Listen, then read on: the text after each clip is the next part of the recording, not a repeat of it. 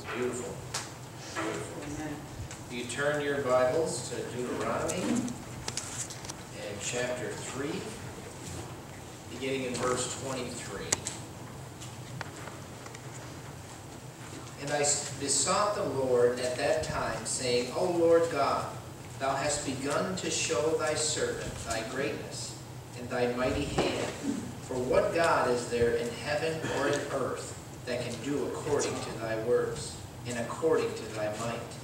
I pray thee, let me go over and see the good land that is beyond Jordan, the goodly mountain in Lebanon. But the Lord was wroth with me for your sakes, and would not hear me. And the Lord said unto me, Let it suffice thee, speak no more unto me of this matter. matter.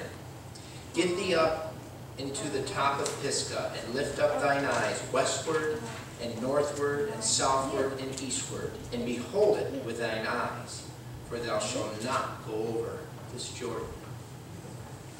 Let's remember this Moses that he's speaking about, his eye was not dimmed. He was able to see very well, but he could not go in. The message we have today